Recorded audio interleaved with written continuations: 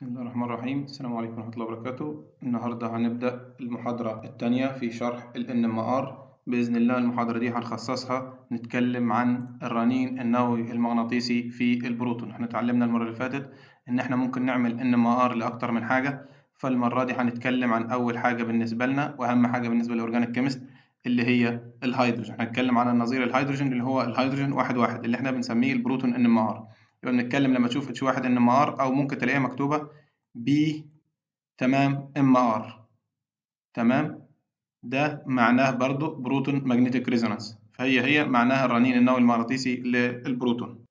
يبقى كده لما بشوف كلمة مكتوب PMR أو H NMR يعني معناها إن هو البروتون NMR. تمام؟ ده أهم حاجة بالنسبة لي ك organic chemist أنا بالنسبة لي مهم ك organic chemist الكربون والهيدروجين. فهنبدأ الأول بال principle الأساسية بتاعة البروتون NMR. ونفس الأساسيات دي هتكمل معانا في الكربون 13 NMR بإذن الله في المحاضرة اللي بعد الجاية. هناخد المحاضرة دي واللي بعدها بإذن الله كل حاجة في البروتون NMR. بعد كده الكربون 13 هيبقى مجرد بس شوية نقط تانية بزودها فقط ولكن هو هو نفس الأساسيات بتاعة البروتون NMR. تمام؟ آه وقفنا المرة اللي فاتت قلنا ال NMR بتختلف شوية عن فكرة ال IR وأي حاجة تانية إن أنا لازم أضيف internal standard واتكلمنا المرة اللي فاتت عن أنواع ال standard اللي جوه قلنا أشهر واحد فيهم اللي هو ال tetramethylsilane وده بيدي بيبقى ال resonance بتاعه. وكنا بنتعلمنا إزاي نحسب من ال field بتاع الجهاز نعرف ال frequency بتاعه أو ال Larmor frequency أو من ال Larmor frequency نعرف عند انهي field بالظبط بالتسلا. وخدنا كذا example عليه المرة اللي فاتت. واتكلمنا كمان على ال standard الثاني اللي هو ال DSS برضه ده لو عندي aqueous solvent تمام؟ يبقى الفكرة الأساسية بالنسبة لنا إن في standard وهنبدأ نقيس بقية المواد نسبه ليه. تمام؟ طيب بما إني أنا بقيس المركبات نسبة لل standard. نسبة لمين؟ للبروتون بتوع ال standard. تمام؟ أنا بتكلم على البروتون هنا. أنا بتكلم على ال standard هنا بالنسبة لي يهمني البروتون. أنا ما اهتمش بأي حاجة تانية غير ال protons بتاعته. طيب هقيس أي sample عندي وأنا حاططها بحط معاها اللي هو ال TMS tetramethylsilane فأنا بقيس حاجة اسمها ال chemical shift. يبقى أول حاجة هتعلمها في البروتون NMR وأهم حاجة والمحاضرة دي كلها هنتعلم ما هو مفهوم ال chemical shift. يعني إيه؟ chemical shift بيقول لي والله ال chemical shift هو ال position بتاع ال absorption peak relative ل reference compound ال reference بالنسبة لي هو هنا TMS تمام؟ يبقى أنا بقول ال chemical shift هو موقع. أي peak بالنسبة لامتصاص reference compound أنا حاطه. كنا بنقول إن ال reference بنعتبره النقطة صفر بنصفر الجهاز عنده وبنشوف المركب بتاعنا shifted قد إيه؟ من ال TMS تمام؟ يبقى أنا بشوف المركب بتاعي shifted بكام؟ من ال TMS. يبقى ده فكرة اللي هو ال chemical shift في سؤال بيطرح نفسه بقوة. أنا ليه ما عبرتش عن نتائج ال NMR كأنها بترددات وامتصاصات ويكون الموضوع أبسط بدل ما أحط standard وأعمل الكلام ده كله وأحول ال standard وأشوف قد إيه الانحراف وأحسب chemical shift يبقى في سؤال منطقي. ليه أنا بعبر عن بيانات ال NMR في صورة chemical shift أو انحرافات بالنسبة للمركب standard في حين أنا لو عبرت عن ال data مباشرة يمكن يكون الموضوع أسهل. بيقول لي عشان نفهم الحتة دي تعال نطبق الكلام ده على مركب مشهور قوي. تمام؟ المركب بالنسبة لي هنا اللي هو التولوين التولوين في نوعين من الهيدروجين. يبقى أنا مهتم بالبروتون NMR. بيقول لي التولوين في نوعين من الهيدروجين. في الهيدروجينات ال aliphatic تمام؟ وفي الهيدروجين ال aromatic. طيب بيقول لي والله أنا متأكد حتى في التفاعلات بتاعتهم وفي كل حاجة إن الهيدروجين على ال aromatic ring مختلفة في ال reactivity وفي كل حاجة عن الهيدروجين بتاعة ال methyl group اللي هي على التولوين طيب بيقول لي أنا قست نفس المركب يبقى نفس المركب التولوين قسته مرتين على جهاز 60 ميجا هرتز وعلى جهاز 100 ميجا هرتز. تمام؟ طيب تعال نعبر على البيانات بقى بالطريقة اللي أنت عايزها إن أنا أعبر عن الترددات مباشرة. بيقول لي أنا لو اعتبرت في الجهاز 60 ميجا هرتز مين هيبقى الصفر بالنسبة لي؟ اللي هو ال TMS تمام؟ وبرده نفس الكلام هنا هعتبر ال TMS هو الصفر بتاعي. طيب في الجهاز 60 ميجا هرتز يبقى بيحصل ال resonance عند 60 ميجا هرتز هعتبر الصفر اللي هو بتاع مين؟ بتاع ال TMS تمام؟ دي S مش C طيب بيقول لي والله لو اعتبرت إن النقطة اللي بيحصل فيها absorption لل TMS هي الصفر فبيقول لي بتلاقي إن التولوين بيدي two signal اثنين absorption signal واحدة عند انحراف عن ال 60 ميجا هرتز بمقدار 128 هرتز. ركز مش ميجا هرتز. اختلاف طفيف جدا مش بال mega ده بالهرتز. ده بالمليون هرتز لكن ده بالهرتز مباشرة. وبلاقي ال signal الثانية عند 419 يبقى اذا أنا لما أحب أعرف واحدة من دول أقول له أيوه التولوين بيدي امتصاص 128 و419 عند الجهاز اللي بيشتغل على 60 mega hertz وممكن أكون كمان مضطر أقول له كمان ال field بيشتغل عند كام. طيب لو غيرت الجهاز أو قست على جهاز نوعية أحدث و field أقوى شوية فبيقول لي كمان هيبدأ الكلام ده يتغير. فبدل ما كنت أنا بقيس عند ال 128 قال لي نفس ال peak ظهرت عند ال 213 وال peak اللي كانت عند 419 بقت عند 698 هرتز. أصبح الموضوع هنا صعب. أصبح إن أنا مضطر أقول لك المكان ال absorption كام وأقول لك كمان ال absorption بتاع ال peak كام وقوة الجهاز كام. أصبح كمية كبيرة من ال data أنا مش محتاجها. فكان لازم ولا بد إن أنا أفكر في طريقة أعمل تبسيط لل data اللي طالعة من الجهاز. أبسط ال data دي إيه؟ إن أنا بيهمني من الموضوع ده كله مكان ال peak بتاعتي بتاعت مركبي. تمام؟ فأنا بالنسبة لي ههمل ال TMS بالنسبة للصفر مش مهم بالنسبة لي لأن ده دايما ثابت هيبقى عندي وخلاص. فأنا مش عايزه. ومش عايز كل مرة أتكلم أقعد أقول لك الجهاز كام mega hertz والجهاز مش عارف شغال عندي كام و128 هرتز و419 قال لي لازم أشوف طريقة ابسط بيها ال data دي. تعالوا نشوف بقى إيه فكرة تبسيط ال data دي. يبقى لابد من إيجاد طريقة نبدأ نبسط بيها ال data. فمن هنا جت فكرة ال chemical shift يعني إيه chemical shift بيقول لي والله قالوا حاجة بسيطة. ال chemical shift هي ratio تمام؟ وبتاخد الرمز دلتا هي نسبة ما بين ال frequency اللي بيحصل عنده absorption بال hertz. يعني مكان ال absorption بتاع مركبك بالهرتز. على قوة الجهاز بال mega hertz. لا أفهم بقى. أيوه ما قلت لك. الجهاز لو قلنا مثلا في أول مركب الجهاز كان شغال عند الكام؟ عند 60 mega hertz.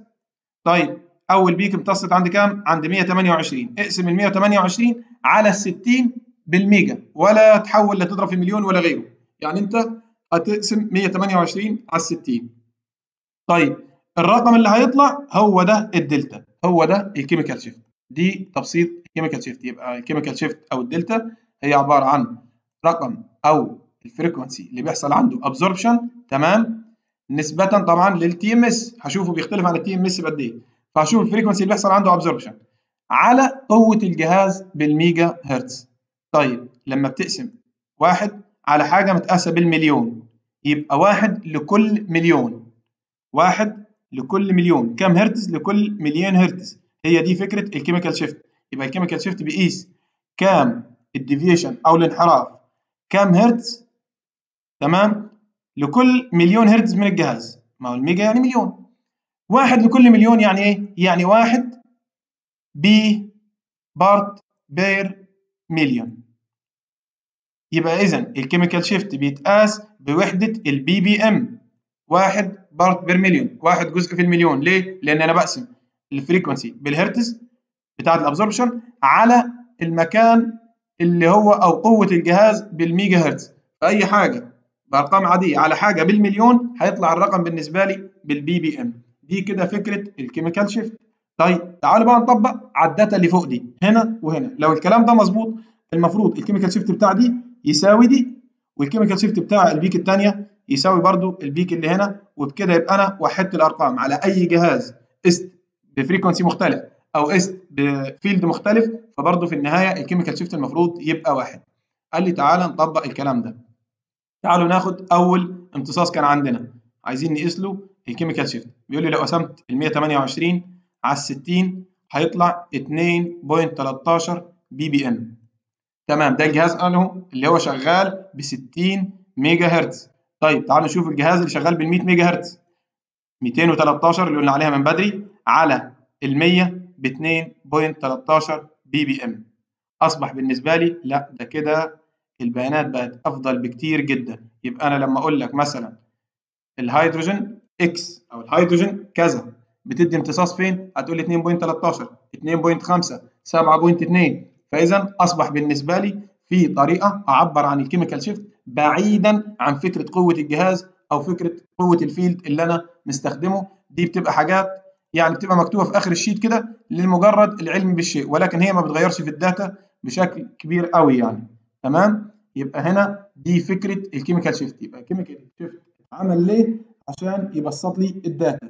ال chemical shift بيتحسب إزاي؟ بتحسب ال frequency اللي بيحصل عنده امتصاص تمام؟ لل peak بتاعت مركبك على قوة الجهاز بال mega hertz وعشان كده ال chemical shift بتتقاس ب unit إيه اللي هو ال PPM دي أول حاجة وأهم حاجة لأن النهار بنطلع منه ثلاث أنواع من ال data. النهار بنطلع منه غالبا لو بروتون النهار بنطلع منه ثلاث أنواع من ال data.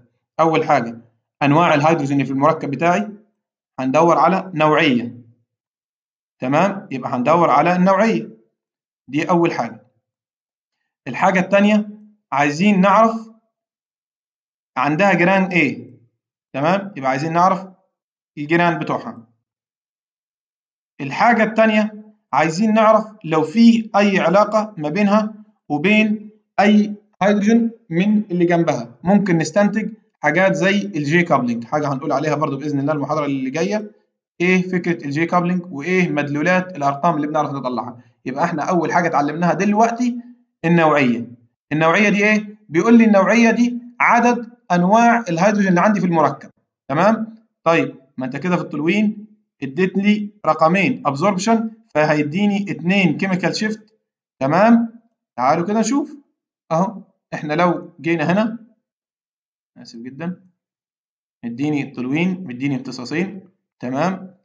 وده بيأكد لي إن هو عندي نوعين من الهيدروجين. واضح جدا إن هم نوعين مجموعة منهم اللي هم ال aromatic والتانيين ال aliphatic. أدي كده ابتديت آخد فكرة عن النوعية.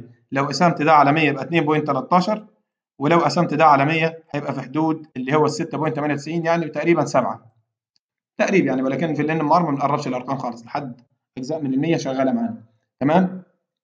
يبقى كده أنا بالنسبة لي أصبحت بال chemical shift أعرف النوعية.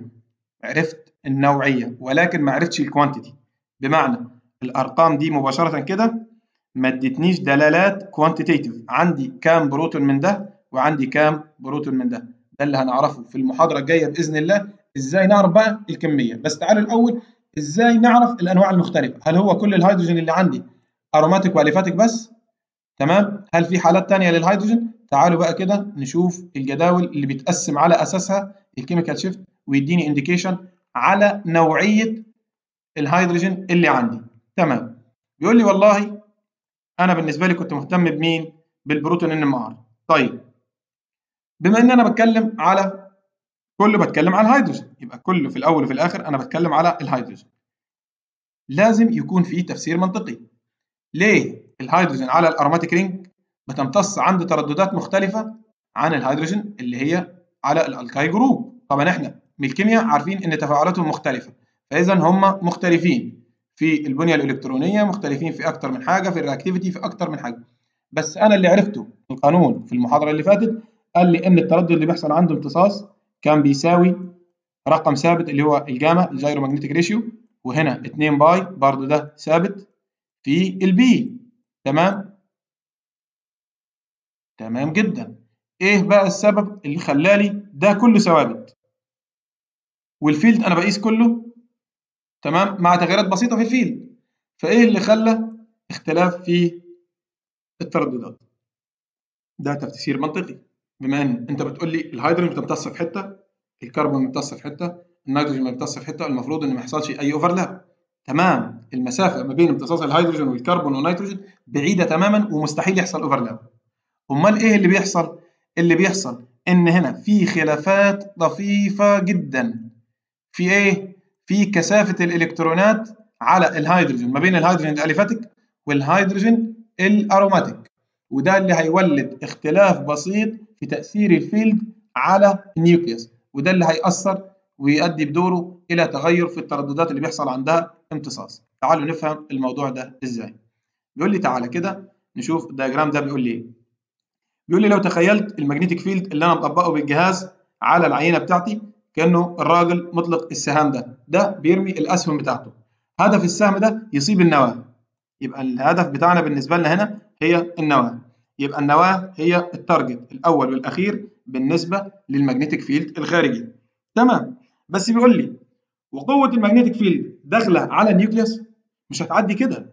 مفيش مسار free pass لا ده أنت غصب عنك لازم وال magnetic field جاي من بره لجوه لازم أمر الأول على درع الدرع اللي بيحمي النواة من بره هم الإلكترون. تمام؟ يبقى بتشكل الإلكترونات shield يحمي النواة. طيب يبقى ال shield اللي بيحمي النواة مين؟ الإلكترونات اللي حوالين منها. يبقى ده هو الإلكترونات ودي النواة. الإلكترونات بتشكل shield طيب بيعمل إيه ال shield ده؟ بيحاول يحميها ويقلل من تأثير ال field الخارجي. ركز معايا بالله عليك في الحتة دي عشان الحتة دي أساس كل قياسات ال NMR وأساس كل شغل ال NMR اللي جاي. يبقى أنا المجال الخارجي عايز يوصل للنواة. يبقى المجال الخارجي من هنا عايز يوصل لهنا. عشان يعدي لازم يمر من خلال ال shield ده. طيب وعشان كل ما ال shield ده بقى قوي فبالتالي أنا محتاج قوة أكبر في الفيلد في الأسهم بتاعتي عشان تخترق الدرع ده وتوصل للنواة. يبقى أصبح ال field الخارجي مش كله بيوصل للنواة. تمام؟ هيبقى عندي المجال المؤثر المجال ال effective تمام؟ قوة المجال الفعلي ال B effective اللي واصلة من ال B اللي هو طالع من ال coil بتاع الجهاز من الملف المغناطيسي بتاع الجهاز. يبقى مش كل المجال اللي طالع من الجهاز هيقدر يوصل للنواه أمال إيه اللي هيحصل له؟ هيحصل له إن هو هيضعف شوية نتيجة مروره على shield من الإلكترون. وبالتالي أي تأثير هيزود كثافة الإلكترونات على النواه أي تأثير هيزود كثافة الإلكترونات على النواه يعني هيقوي مين؟ هيقوي الدرع بتاعنا. هيقوي الدرع هنا. هيخلي المجال الخارجي قوة أكبر عشان يوصل للنيوكليوس.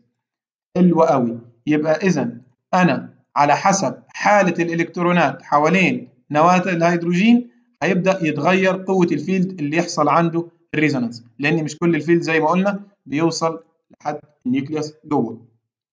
تمام جدا. يبقى كده أنا عندي field خارجي عايز يوصل لل nucleus. ال nucleus ما عندهاش مشكلة تتعامل معاه وبتبدأ تعمل spinning والكلام ده كله قلنا عليه المرة اللي فاتت. ولكن هنا في factor تاني اللي هو فكرة الإلكترون أكيد مش هتقف ساكتة. دايما الإلكترون هتحاول تقاوم المجال الخارجي. تعالوا نفهم الموضوع ده. ده بيعمل حاجة اسمها shielding effect يبقى أنا لما بتكلم أول حاجة اتعلمناها دلوقتي ال chemical shift وبعد كده دلوقتي هنبدأ نتكلم على فكرة ال shielding effect بيقول لي بتشكل السحابة الإلكترونية حول الذرة درعا واقي بيولد مجال مغناطيسي ي counter يعاكس المجال الخارجي. يبقى أنا بيجي لي مجال خارجي؟ تمام. طيب وبيقابل مجال الإلكترونات. مجال مغناطيسي بيعكسه من الإلكترونات.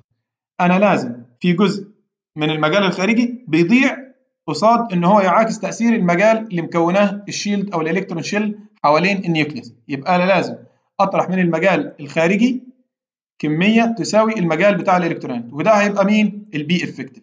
يبقى ده هيكون المجال الفعال. مين ال B effective بقى بالنسبة لي؟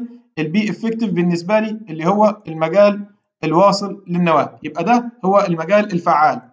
طيب وده هو المجال المطبق من الجهاز والمتغير الوحيد بالنسبة لي هو قوة ال field اللي بتستهلك عشان أعدي أو أوصل من خلال الإلكترون. يبقى قلنا الإلكترون بتشكل كثافة إلكترونية أو مجال مغناطيسي بيعاكس تأثير المجال المغناطيسي الخارجي. تمام؟ طيب تعالوا بقى كده نفهم القصة دي هتمشي إزاي. طب ما كده كل atom أو كل نوع من ال atom عليها كثافات إلكترونية مختلفة. حلو. ولذلك كل نوع من الهيدروجين هتظهر امتصاص شوية مختلف عن ال TMS. تمام جدا. ودي أساس فكرة ال NMR. لو كان كل الهيدروجين في المركب بتظهر امتصاص عند نفس التردد ما كانش عمل NMR أصلا لأنه مش هيبين لي أنواع الهيدروجين. يبقى بيقول لي نظرا لتاثر كثافة الإلكترونات على ذرة الهيدروجين. بنوع وسالبية الذرة اللي ترتبط معاها. لا نفهم بقى الحتة دي. ما بيقول لي بص لو انت عندك هيدروجين تمام؟ طيب بتختلف حسب إيه؟ حسب ال atom X الهيدروجين دي ماسكة في مين؟ هل ال electronegativity تمام؟ بتاعه ال X لو كانت فلور هتبقى هي هي لو كانت أكسجين. طيب لو كانت أي حاجة تانية لو كانت نيتروجين. طيب لو كانت كربون اللي إحنا عارفينها طيب لو كانت metal زي مثلا معدن زي البوتاسيوم potassium hydride إيه اللي هيفرق معايا بيقول لي مثلا لو fluorine فال fluorine ساحب قوي جدا للإلكترونات هيخلي دي شوية مكشوفة جدا وعليها كثافة إلكترونية قليلة جدا وده هيخليها سهل جدا يتم استهدافها بالمجال المغناطيسي الخارجي.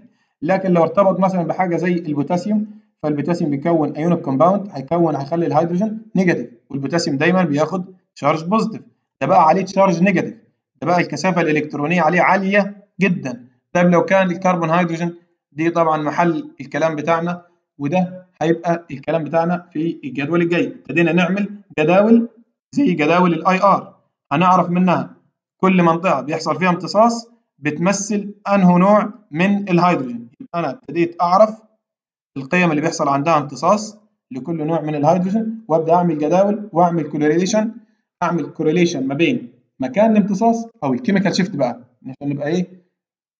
مع بعض. دلوقتي هبدأ أعمل correlation ما بين قيم ال chemical shift وما بين نوع الهيدروجين اللي بتعمل chemical shift هنا. يعني دايما الهيدروجين كل واحدة بتمتص في حتة. مثلا دي aliphatic لا دي aromatic لا دي مثلا vinyl ده هيسهل عليا قوي فكرة إن أنا أتعرف على الأنواع المختلفة من الهيدروجين اللي عندي في المركب. بيقول لي لما هم جوا يعملوا ال chemical shift ويحسبوا كل ال chemical shift لقوا حاجة بسيطة جدا. بيقول لي معظم المركبات في الكيمياء العضوية ال chemical shift بتاعها بيتراوح ما بين كام لكام؟ قال لي إحنا بنعتبر ال TMS صفر. تمام.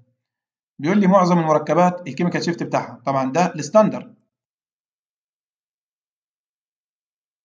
بيقول لي بيتراوح ال chemical shift ما بين سالب 2 لحد ل 12 تمام؟ لو قلنا هنا دي 12 تمام؟ يبقى ما بين سالب 2 أو أهو يعني سالب 2 ل 12 طبعا في ناس بتقول لك من سالب 4 لحد ال 15 وفي بعض الكتب بيقول لك إن المجال بيمتد ما بين سالب 10 ولا حاجة لحد ال 25 بعض يعني إيه؟ الحاجات. ولكن أنا بقول لك يعني من النادر جدا إنك تشوف الحاجات اللي هي زيادة اللي هي الحاجات اللي تحت الصفر أقل من التي إم إس ولكن معظم الحاجات بتكون من صفر ل 12 عشان أكون صادق معاك أكتر. تمام؟ يبقى كل الشيتات اللي هنشوفها دلوقتي كلها تقريبا من صفر ل 12 تعالوا بقى دلوقتي نشوف الجداول اللي بتعمل correlation ما بين قيمة الدلتا وما بين نوع الهيدروجين atom اللي عندي. تمام؟ بيقول لي بص أنت لو كان عندك ال TMS طيب ال TMS هنعتبره مين؟ هنعتبره الصفر على مسطرة الدلتا اللي إحنا ابتدينا نقيس عليها. إحنا بنقول من صفر لل 12 تمام؟ أنا فارد لك يعني من سالب 4 ل 12 الأرقام معظمها بتكون بالقيم الموجبة قليل قوي المركبات اللي بتلاقيها في الحتة السالبة.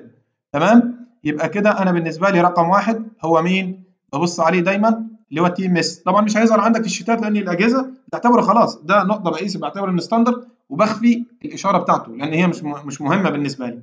تمام؟ طيب تعالى بقى نشوف أنواع الهيدروجين. هنا أنا اعتبرت إن وضعي دي صفر. طيب دي هيدروجين وماسكة في كربون.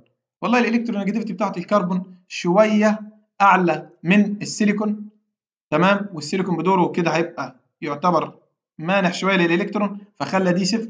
فدي هتبقى مثلا ال chemical shift بتاعها في حدود الواحد. واحد واحد وشوية لحد الاثنين طيب لو نفس المركب ضفت له فلورين أصبح الفلورين بيسحب الإلكترون كده. ده ما بيسحبش مباشرة ده بيسحب من خلال الكربون وبدوره ده هيسحب الإلكترون كده من الهيدروجين دول كلهم. تمام؟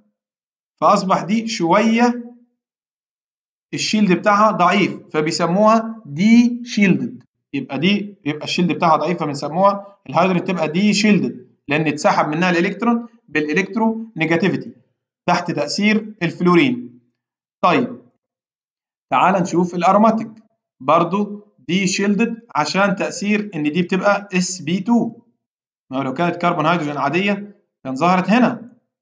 لكن هو لأ عشان هي sp2 فال electronegativity بتاعتها شوية عالية فبيكون السحب بتاعها أقوى ولذلك بيخلي الهيدروجين more deshield ال shield بتاع الإلكترونات بتاعها أكتر وأكتر إن هو يبقى مكشوف أكتر. طيب تعالى شوف حاجة ثانية تعالوا نشيل بس كده. من أكتر الحاجات ال deshield اللي أنت هتشوفها هي الهيدروجين بتاعة ال acid.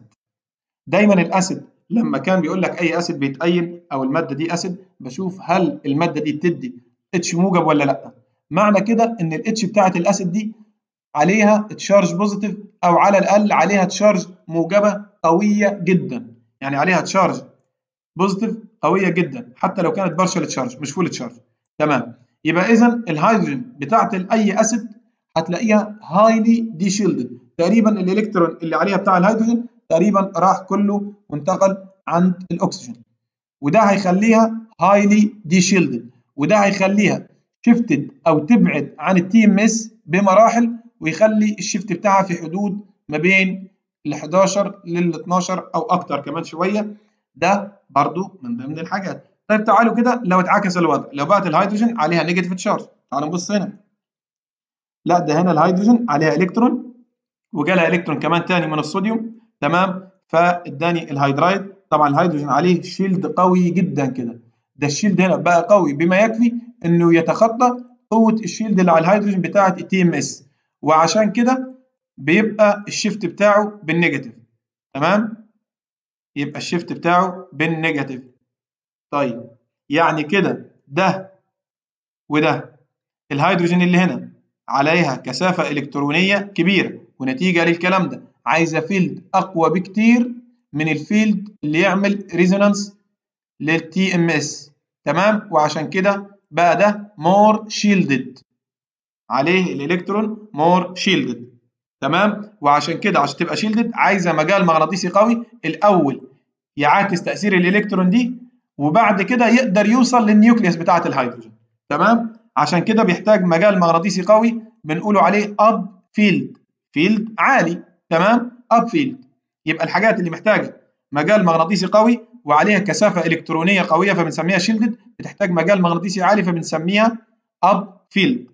طيب الحاجات اللي هي بيبقى الإلكترونات بتاعتها مسحوبة بسلبية مغناطيسية من أي atom أو أي حاجة بيسموها ال deshielded وبتظهر في حتة يقولوا عليها downfield إيه ال upfield وايه ال downfield انت هتلخبطنا معاك ليه؟ مش أنا قلت لك المرة اللي فاتت إن أنا بثبت ال frequency اللي بيشتغل عندي الجهاز وببدأ أعمل سحب أو تغيير شوية في قوة المجال المغناطيسي عشان أشوف كل بروتون من دول هيمتص عند أنهي منطقة. تمام؟ اتفقنا على الكلام ده المرة اللي فاتت. تمام. هنا أنا مثبت ال frequency عند 100 100 ميجا هرتز. 100 ميجا هرتز. تمام؟ يبقى الجهاز بيشتغل عند مجال مغناطيسي تمام؟ وبيشتغل ال frequency بتاعي عند ال 100 ميجا هرتز وببدأ أغير المجال المغناطيسي اللي هو بيحصل عنده resonance بتاع ال TMS. أضعف المجال المغناطيسي شوية. طيب أنا ببدأ إزاي؟ ببدأ من مجال مغناطيسي قليل وأرفع أرفع أرفع خالص لحد ما أوصل لحد المنطقة اللي يحصل فيها resonance لل TMS. وأكمل شوية بعده وأقف. لأن خلاص قليل قوي الحاجات اللي بتمتص تحت ال TMS حالات نادرة جدا. تمام؟ يبقى ببدأ ب field قليل. تمام؟ وأبدأ أرفع قوة ال field بتاعي. تمام؟ يبقى أنا وأنا بقيس ال NMR عشان أفهم فكرة upfield و downfield ببدأ ال field من field قليل. وأبدأ أزود في قوة ال field اللي عندي. هرفع أكتر وأكتر وأكتر وأشوف أنهي هيدروجين اللي هتعمل resonance وكل مكان يحصل فيه resonance أحسب ال shift قد إيه من مين؟ من ال standard بتاعي. TMS أبدأ أعمل هنا ظهر peak. تمام؟ هنا ظهر peak وهكذا. يبدأ كده يبين لي المركبات تبين لي الأنواع المختلفة من الهيدروجين اللي عندي. يبقى أنا ال field اللي عندي اللي هو ال frequency اللي شغال عليه الجهاز ثابت وأنا ببدأ ب field قليل وببدأ أطلع. فبيبقى في الاتجاه ده upfield يبقى أنا بتحرك من الشمال لليمين من ال downfield لل upfield تمام؟ يعني هنا مجال مغناطيسي قليل هنا مجال مغناطيسي بيكون عالي. تمام؟ طبعا إحنا عارفين إن من أعلى الأماكن اللي بيحصل فيها امتصاص المجال المغناطيسي أعلى منطقة بيحصل فيها امتصاص لل TMS هي من ضمن أعلى الأماكن في المجال المغناطيسي. تمام؟ عشان دي more shielded فبتحتاج مجال قوي عشان الأول يكشف تأثير الإلكترونات ويشيله وبعد كده يقدر يوصل لل nucleus حلو قوي. ابتدينا نعمل أهو relation ما بين كل منطقة. يعني مثلا بنقول ال TMS عند صفر دي مش عارف عند الواحد دي هنا كام؟ ال aromatic في حدود السبعة. ال acidic proton في حدود ال 12 أصبح هنا بالنسبة لي في correlation ما بين نوع الهيدروجين وما بين ال chemical shift تمام. بس هل الموضوع ده منظم؟ قال لي لا. تعالى كده أوريك جدول متنظم شوية عشان تفتكر بيه الحاجات دي بسرعة. بيقول لي بص أنا قلنا إيه؟ على إيدي اليمين upfield وعلى إيدي الشمال ال downfield ال field القليل.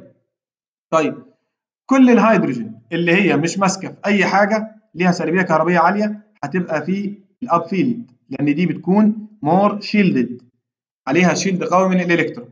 وده يشمل ال alkyl آسف جدا. وده هيشمل ال alkyl تمام؟ دول مثلا. وبعد كده طبعا دي مش directly contacted على على الكربون. أنا دي هيدروجين ماسكة في الكربونه المجاورة للكربونايل جروب. أو هنا مثلا ال acetylenic hydrogen طيب لو جينا هنا الهيدروجين مش متصل مباشرة بمين؟ مش متصل مباشرة بالهالوجين مهمه قوي دي. ده هو متصل بكربون مثل bridge ما بينه وبين الهالوجين طيب وتحت تأثير الهالوجين كل ما كانت السلبية الكهربائيه للهالوجين عالية فبيكون ال shift عالي وكل ما كان مثلا حاجة زي ال iodine فبيكون ال shift قليل عشان سلبيته الكهربائيه قليلة وهكذا نقدر نعرف برضو correlation ما بين دول ودول. طيب لو كان مثلا عندي NH أو عندي OH فطبعا أنا الأول بعمل لها confirm بال IR وبعد كده ببص برضو ال NMR قال لي لا والله الان إتش والاو إتش بتاخد range كبير جدا ما بين مثلا الواحد وشوية تمام لحد حدود الخمسة. طيب قال لي الأروماتيك دي من أهم الأماكن بتاعتها الأروماتيك بتبقى في منطقة ما بين الستة ونص للثمانية دي منطقة الأروماتيك ما بتتحركش منها نهائي. الهيدروجين الأروماتيك هيدروجين ليها منطقة من ستة ونص ل 8 ما بتبعدش عنها خالص. قال لي وكمان الالكين بتتراوح ما بين أربعة ونص لحد بداية منطقة ال aromatic وبرضه ما بتبعدش عنها بدرجة كبيرة يبقى من أربعة ونص لحد ستة ونص ده الكين من ستة ونص لتمانية وشوية ده aromatic proton طيب بيقول لي بقى ركز. لو عندك الهيدروجين مش هنا لو ركز هنا معايا. بص لو إحنا اتكلمنا على دي إيه الفرق بين دي ودي؟ بيقول لي إن هنا في الحتة دي إن ال hydrogen contact directly على كربونايل دي aldehydic hydrogen لكن هنا الهيدروجين متصلة بكربون الكربونة هي اللي متصلة ب carbonyl group في فرق كبير ما بينهم. ولذلك هنا بيبقى دي اسمها ال alpha hydrogen لأن دي الكربونة ألفا اللي جنب الكربونايل فبتكون في حدود ما بين الاثنين للثلاثة. لكن لو كانت الهيدروجين على contact directly على مجموعة ال carbonyl group فده بيخلي الامتصاص بتاعها عالي جدا وفي منطقة مميزة جدا لل aldehydic proton ودي بتميز ال aldehydic proton ما بين 9 وال 10 تمام؟ أي حاجة فوق ال 10 لحد ال 12 ده acid دي acidic هيدروجين أنا ما بتكلمش غير على ال H دي كده منطقة ال acid تتغير يعني زيادة وأقل على حسب نوع ال acid وعلى حسب قوة السحب بتاعه ولكن ده كله بيحدد يبقى أنا بالنسبة لي من 7 ل 8 أو من 6 ونص ل 8 aromatic عند التسعة ده aldehydic بروتون فوق ال 10 لحد ال 12 ده acid. يعني عشان أكون صادق معاك المنطقة اللي هي دي بتكون متكعبلة شوية ولكن بعتمد على حاجات تانية عشان أعرف هل دي انه نوع من ال alkyl ما بقدرش برضو قوي أمسك في حتة هي مين فيهم بالظبط. تمام؟ تعالوا كده نشوف جدول بقى بالأرقام. يعني أنا دلوقتي شايفه على sheet بقيم ال chemical shift بال ppm تعالوا نشوف جدول كده نغش منه الأرقام بتاعتنا دي بسرعة. بيقول لي بص لو كانت دي alkyl تمام؟ بس saturated ألكان فبيكون ال shift بتاعها في حدود من الواحد لحد الواحد وسبعة. نقول من الواحد للواحد وسبعة. طيب لو كانت ال CH دي على allylic كربون ال allylic هي مين؟ هي أول كربونة جنب جنب الألكين. يبقى أول كربونة جنب الألكين دي sp 2 كربون دي كده allylic كربون تمام؟ فبالتالي الهيدروجين اللي عليها allylic هيدروجين. تمام؟ allyl group.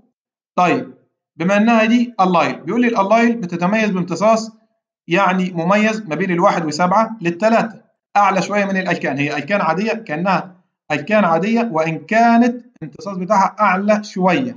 طيب لو كانت ألفا بروتون الألفا بروتون قلنا مين؟ أول هيدروجين اللي هو الهيدروجين اللي ماسكة في أول كربون جنب ال carbonyl group بتكون من 1 و8 2 و2 تقريبا هتبقى في overlap ما بين الاثنين دول.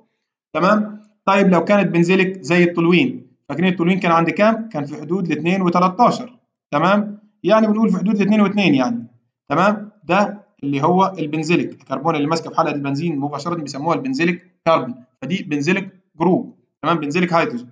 طيب لو كانت propargylic تمام؟ أو propargyl group. ال propargyl group دي في الالكين بيسموها ال allyl إنما في لو ماسكة في C triple bond C فدي بيسموها propargyl group دي مش يعني في فرق كبير.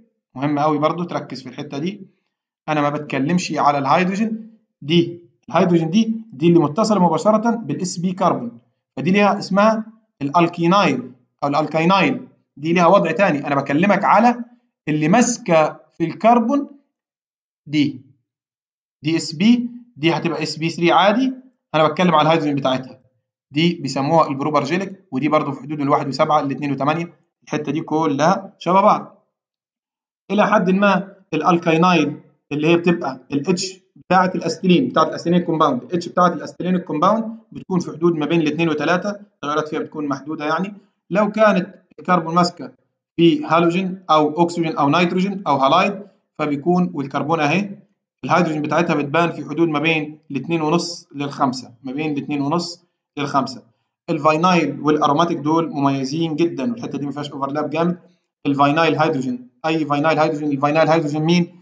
الهيدروجين اللي ماسكة في sp 2 كربون بس في chain مش في aromatic ring فدي بيسموها ال vinyl هيدروجين.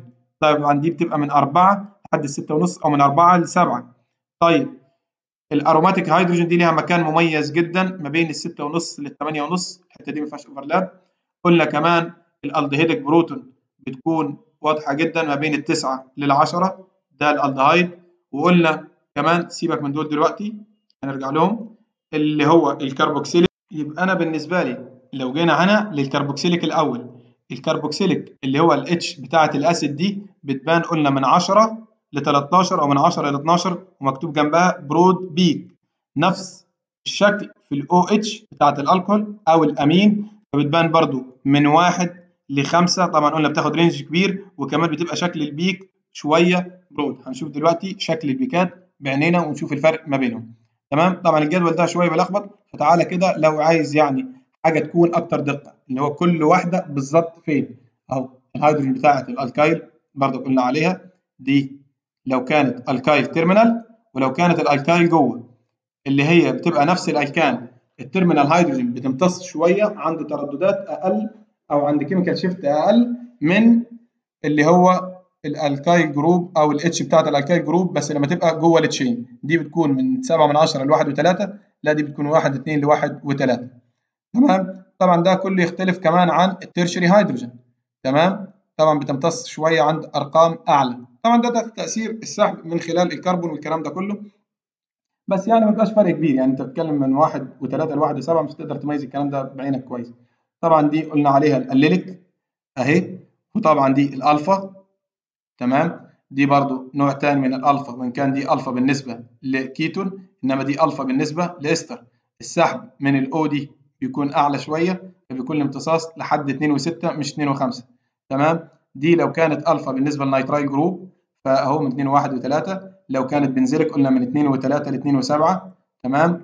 طبعا دي لو كانت acetylenic برضو نفس الكلام. لو كانت الفا بالنسبة للنيتروجين لو كانت بالنسبة لل sulfur طبعا ده كله ما تنساش تأثير السلبية الكهربائية. التاثير السلبية الكهربائي هيبان قوي هنا. بص هو هو نفس ال substituent تمام؟ كله هالوجين بس هنا السلبية الكهربائية بتزيد وأنا نازل ما بين ال iodo لل bromo لل chloro. فهي نفس الفكرة من 2 ل من 2 ل 4 هنا من 2 و7 ل 4 و1 من 3 و1 ل 4 و1 طب لو كانت كمان المجموعة دي أو اتش تمام أو أو ار فدي بتكون من 3 و2 ل 3 و8 تمام؟ طيب لو كانت ألفا الاستر مش هنا بقى لا ده هي في الجنب الثاني من الإستر ماسكة في الهيدروجين فبتكون من 3 ونص لحدود الخمسة. طبعا لو كانت nitro برضو بيبقى لها قوة. طبعا شوف بقى الفلور وصل لحد فين؟ من 4 و2 ل 4 و8 طيب لو كانت vinyl طبعا قلنا عليها دي واضحة جدا vinyl hydrogen توصل لحد ال 6 ونص. ال aromatic من 6 ونص ل 8 تمام الالدهايد من 9 ل 10 طبعا هتلاقي في الجداول في اختلافات شوية ما بين جدول والتاني بداية المنطقة. لأن حقيقي عشان أكون صادق معاك مفيش علاقة واضحة أو مفيش أرقام واضحة هي من فين لفين. تأثير برضو ال chemical shift تأثير أكتر من حاجة. يعني مثلا أنت لو عندك على الحلقة دي nitro group. طيب ما ال nitro هتسحب الكترون تمام؟ وال nitro هتسحب الكترون من هنا والحلقة أصلا بتسحب فهتخلي دي مثلا shifted شوية حدود 8 ونص وتوصل ل 9 عادي. تمام؟ فده كله من ضمن التأثيرات. ماذا لو كانت electron donating فهتزود كثافة الالكترونات على الكربون فهتخليها تمتص عند chemical shift أقل. ده كله من ضمن الحاجات. بيقول لي والله لو عندك مثلا السيول فده بيمتص من واحد لخمسة برضو الأمين وكل الكحولات دي اللي هو الهيدروجين ماسك في hetero atom ما تقدرش تضمنه. لو كان phenolic فبيكون من أربعة لسبعة. تمام؟ لو كان الهيدروجين بتاع ال amide فده بيكون واضح من خمسة لتسعة ده بيكون يعني highly شوية deshielded طبعا أعلى حاجة في ال deshielding بتكون اللي هي بتاعة ال acid ال H بتاعة ال acid بتكون من 11 ل 12 أنت دلوقتي هتقول لي أنت زهقتنا وبقالك ساعة بتشرح لي في شيتات بتشرح لي في أرقام وما شفتش sheet واحد IR ما شفتش sheet واحد NMR بس. تمام؟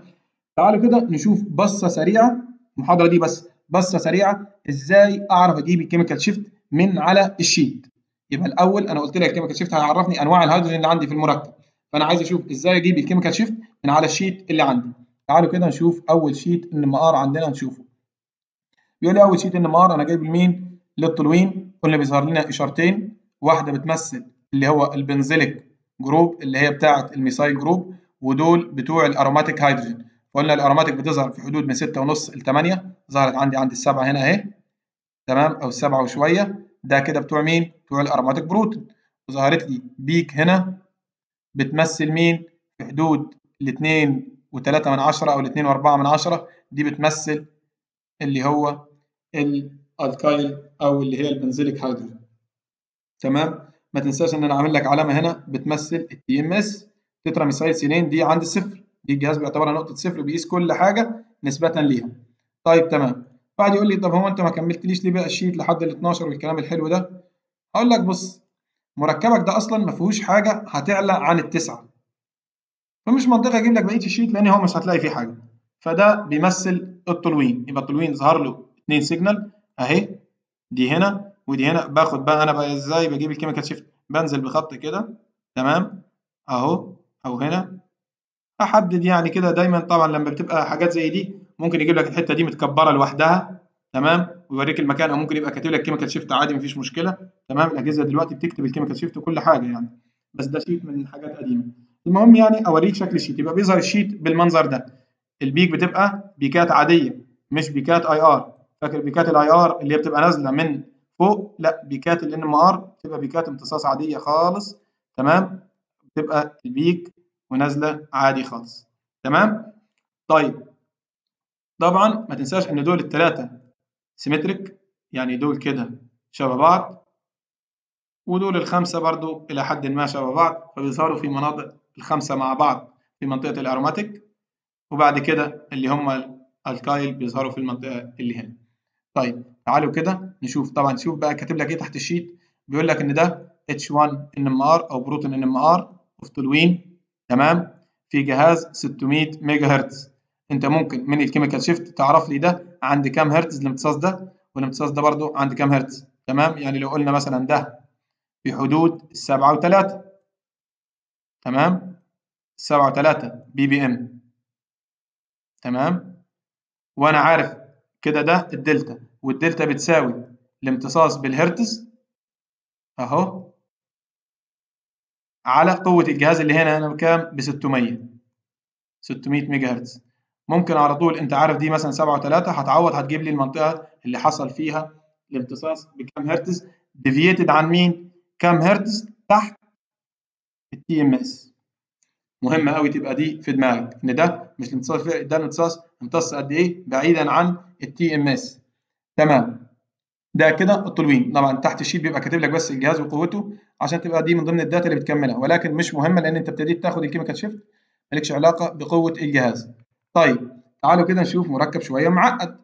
بيقول لي مين؟ اللي هو ال phthalic acid بس أنا جايب ال ethyl ester. يبقى ده اللي هو ال ethyl phthalate ده ال ethyl ester بتاع ال phthalic acid.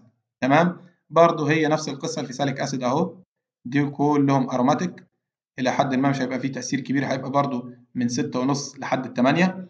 وبعد كده عندي كام بقى نوع من ال aliphatic دي نوعية أهي هي هي دي زيها برضو بالظبط. والحتة دي هتبقى لوحدها. طيب تعالى بقى نشوف حاجة. أول حاجة ال aromatic proton هيبقوا أعلى chemical shift ليه؟ لأن دول highly deshielded وهيكونوا عند chemical shift في حدود قلنا كام؟ من 7 ل 8 6 ونص ل 8 ونص في الحتة دي. طيب وبعد كده ده ده هيكون ما تنساش بقى تأثير مين؟ ال electronegative atom. مين ال electronegative atom بالنسبة لي؟ الأكسجين. تمام. الأكسجين contacted مباشرة مع الكربون. دول كده متصلين على أول كربونه تمام؟ الاثنين H دول. طبعا دول شبههم اللي فوق فهيظهروا في نفس المكان. طيب إيه القصة اللي هتحصل؟ بيقول لي دول هيبقى فيه سحب الالكترونات قوي فده هيخليها تظهر في حدود منطقة مين؟ اللي هو في حدود الأربعات. تمام؟ في حدود الأربعة أربعة وشوية. طيب دي الحتة دي. طبعا تأثير بقى هنا أدي bond أدي اثنين وصل لحد هنا. من خلال ثلاثة bond لا التأثير هيبقى مع المسافة تأثير اللي هو تأثير ال inductive أو تأثير سحب الإلكترونات بال electronegativity بيقل مع المسافة فهيكون تأثيرهم على الهيدروجين بتاعه ال terminal methyl group أقل تمام؟ فهيخليها تمتص شوية عند أرقام برضو قليلة. يعني هنا مثلا في حدود قلنا إحنا بتبقى في حدود من 9 من 10 تمام؟ لحد الواحد وأربعة. هي ممتصة في حدود الواحد وثلاثة هنا فده برضو بيأكد إنها شوية اتأثرت بيه يبقى ده ال phthalic acid برضو ابتدينا نفصل على أساس إيه؟ ال electronegativity. تمام؟ أنا ممكن أجيب لك مثلا مركب وأقول لك بس expect مكان الامتصاص هيكون فين؟ في range الكام؟ رتبهم حسب الامتصاص. يعني مين أعلى حاجة ومين أقل حاجة. مش عايز أرقام. تمام؟ ده برضو من ضمن الحاجات. تعالوا كده نشوف مثلا 2 bromobutane. أدي ال butane بس رسمه لك شوية يعني متقسم شوية عشان يبقى سهل عليك. بيقول لي ركز معايا. لو جينا نرسم الاثنين bromobutane آدي ال butane وآدي البروم بالنسبة لي. تمام.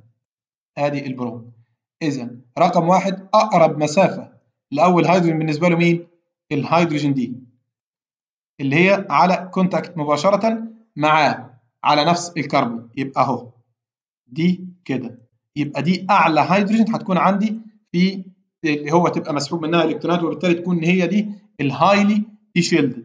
طيب بعد كده تيجي المرحلة الثانية دي ودي طيب بيقول لي لما أختلف ما بين هيدروجين terminal وهيدروجين جوه ال chain مين اللي تبقى أقل في ال chemical shift اللي هتبقى أقل في ال chemical shift ال terminal تمام؟ هتبقى more دي more shielded عن اللي هو جوه ال chain وبعد كده طبعا أبعد واحدة فيهم في المسافة من خلال bond 2 3 لحد ما نوصل لهنا. دي هي ال terminal خالص اللي هي دي.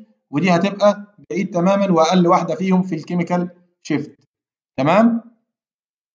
تعالوا نشوف الكلام اللي إحنا عملناه. يبقى إحنا توقعنا كده ال sheet هيبقى شكله إيه. تمام؟ يبقى ده هنا أهو. أول حاجة أعلى chemical shift ده أهو. مركزش في عدد ال peakات الصغيرة. ركز معايا بس دلوقتي أنا عايزك تركز مكان ال peak فين؟ طيب بعد كده قلنا دي ولا دي قلنا اللي بتبقى جوه ال chain بيبقى الشيلف يعني شوية deshielded عن اللي بره. فدي ال internal وبعدها مين؟ اللي باللون التركوازي دي بتكون شوية دي اللي هي terminal طيب terminal دي ولا دي يقول لي لأ ما أنت لو عديت أدي bond اثنين والثالثه كنت هنا لكن دي عد bond اثنين ثلاثة رابع bond كانت هنا. يبقى دي طبعا أبعد فيكون التأثير شوية أقل. يبقى حصل overlap ما بين مين ومين؟ حصل شوية overlap في منطقة الامتصاص ما بين الهيدروجين دول ودول لأن فرق ال shift ما بينهم مش كبير. هم على نفس المسافة. لو عدينا bond 2 ودي bond 2 فدي على نفس المسافة بتاعت دي. طب حلو. أمال إيه اللي بيحصل بقى؟ قلت لك اللي جوه ال chain بتكون شوية deshielded فبيكون ال chemical shift بتاعها أعلى. ولكن لو شايف البيكات حصل ما بينهم overlap مع بعض.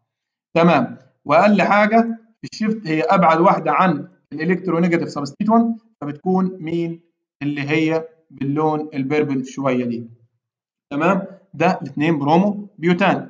طيب يعني عايزك تاخد بالك منها دلوقتي وهشرحها لك بالتفصيل المحاضرة الجاية. تمام.